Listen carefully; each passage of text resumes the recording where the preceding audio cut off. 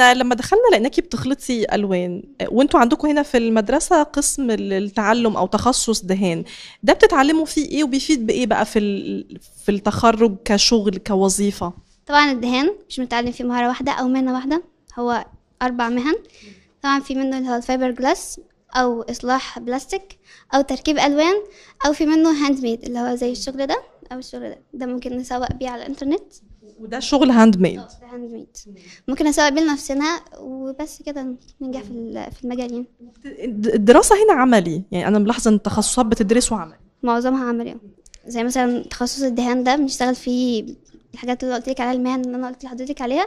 وفي مثلا تخصص الكهرباء وتخصص الميكانيكا ده برضو إصلاح سيارات وصيانتها وكده.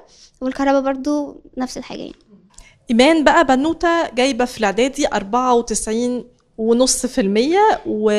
وعندها قصة مختلفة وجاية من محافظة تانية و... وخاضت تحديات كتير عشان تبقى موجودة هنا في المدرسة التكنولوجية التطبيقية وتدرس تخصص دايما بيتقال عليه إنه تخصص مش للبنات. إيمان ازيك الحمد لله تمام. احكي لنا قصتك إيه؟ أنا آه كنت جايبة في الاعداديه 258 ونص. تمام. آه أنا كنت هدخل ثانوي عادي زي أي طالب وما كانش في دماغي أي مدرسة من مدارس التكنولوجيا. حتى أنا ما كنتش عارفة عنهم قوي. المهم فبابا شافها مع الصدفة عن طريق الإنترنت فهو عرضها عليا يعني. وأنا قعدت أعمل سيرش عنها وبحثت كتير فعجبتني. فقلت تمام هروح الاختبارات وكده. ولما جيت الاختبارات آه وامتحنت وكده وكان يعني أنا كنت ساعتها وقتها عرفت درجتي آه فحبيت المكان أكتر. وما جيت هنا واتكلمت مع كذا حد هنا في المدرسة وحبيت المكان ف يعني أنا يعني استقريتي خلاص آه، على قررت المكان إن أنا هاجي. بت... بتحبي إيه في في المدرسة؟ أنا بحب المهندسين بتوعي جدا. ليه بقى؟ إشمعنى؟ لأنهم بيعاملوني كان يعني بعمل الطلب هنا كأنهم إخواتهم مش كأنهم مثلا طلبة هنا والتعامل عندنا كويس قوي. مم. طب وانت بقى إنك تبقي جاية من محافظة تانية انت من الشرقية صح؟ آه. وتبقي موجودة هنا ويعني حاجة صعبة تبقي بعيدة عن أهلك وبتدرسي في نفس الوقت.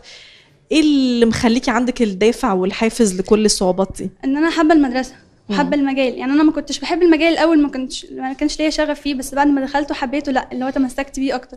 حتى من عيلتي في ناس معارضة وكل شوية يقولوا لي إن أنا احاول بكده بس أنا لأ. مين بقى اللي معارض؟ آه تيتا. آه؟ آه أهالينا. الأكبر شوية في السن. آه عماتي. إنما ماما وبابا لأ موافقين معايا جدا. وبابا اللي عرضها عليكي أو آه. اقترحها عليكي؟ آه. بابا هو اللي عرضها عليا. ولما بدأتي الدراسة فكرة إن الدراسة عملي وفيها حاجات كتير بالإيد بتعمليها ومش بس كتب وورق وشهادات وبت يعني تخشي تكتبي وخلاص وترمي الحاجات دي من الجلدة للجلدة بدون ما تفتكري منها حاجة. فكرة إنه الدراسة عملي حبيتي دوت؟ وفرق آه، معاكي أنا إزاي؟ أصلا دخلت المدرسة لاني حابة كمان أنا بحب العملي أكتر. مم.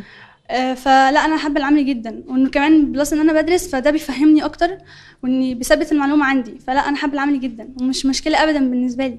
وانتي سنة أولى صح؟ آه هتخصصي إيه بقى؟ آه، سيارات كهرباء اي بي صيانة صيانة كهرباء سيارات كهرباء آه ده بقى تخصص آه، كمان جديد جديد آه آه. حلو جدا ما أنا اخترته عشان هو المجال اللي إن شاء الله في المستقبل هيبقى معظم السيارات وأغلبها هتبقى سيارات كهرباء عشان كده أنا اخترته. حباه والدراسة بالإنجلش سهلة الحكاية دي ولا صعبة؟ أنا كنت مدرسة حكومي عادي جدا ويمكن قبل ما أدخل كنت خايفة جدا إن حاجة جديدة عليا وكده بس لما دخلت لأ في تعاون هنا جدا وبيشرحوا لنا كويس قوي فأنا حبيت ال...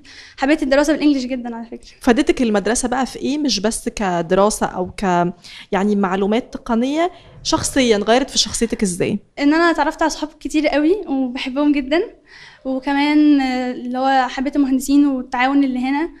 فهي لأ وإن أنا تعتمد على نفسي في خلال إن أنا مش من هنا يعني أنا عايشة بعيد عن أهلي وكده فلأ تحملت مسؤولية نفسي وكده.